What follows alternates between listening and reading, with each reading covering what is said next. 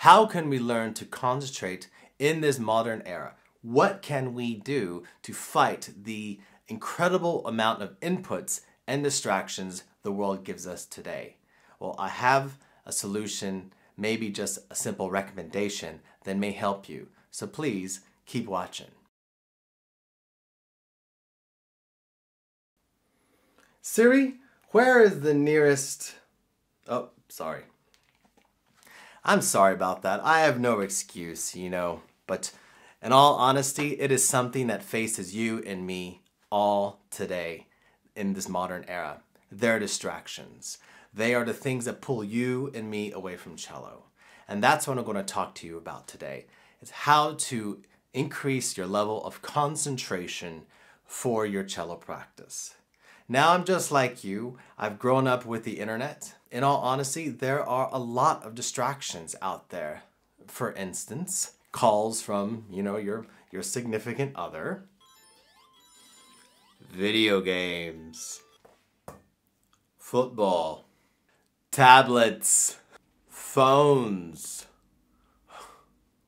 Having money or not having money. Cats chickens. Even sometimes the good book.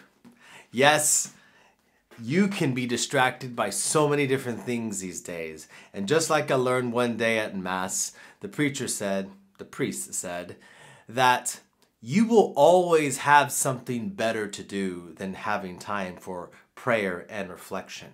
And the same thing goes for the cello. There will always be something coming to you in a form of distraction or obligation that will take you away from your instrument.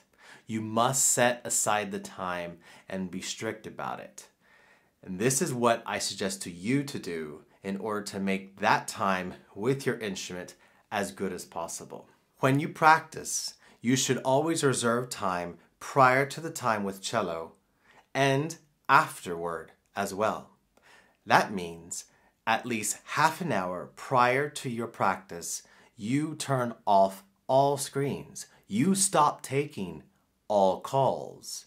You feed the chickens, you pet the kitty cats, you kiss your loved one, and you send your children off to go play because you have now reserved time for cello. This happens a half hour at least prior to your practice with cello.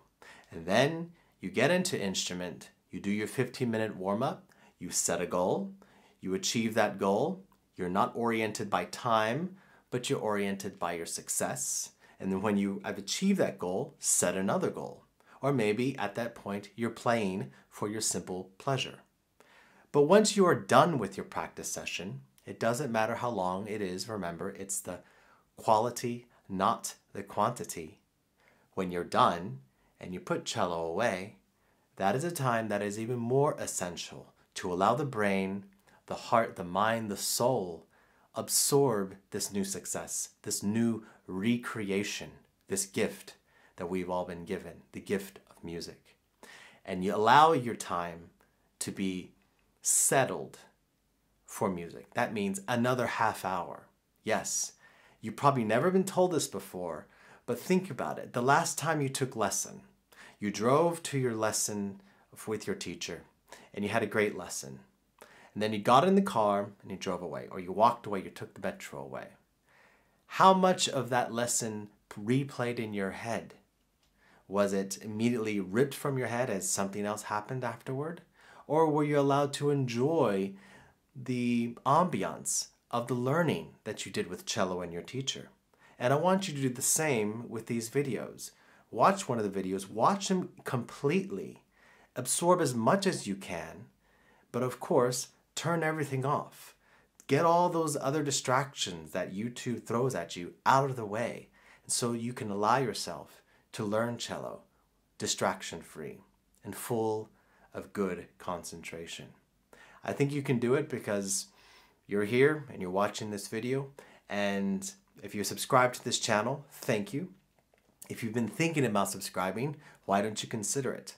What I like to do is I like to not only teach you the essence of playing an instrument, but I also do some covers of songs, popular and classical.